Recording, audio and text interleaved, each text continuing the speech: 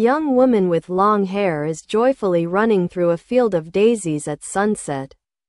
Her expression is happy and carefree, capturing a moment of freedom and natural beauty in a peaceful countryside setting.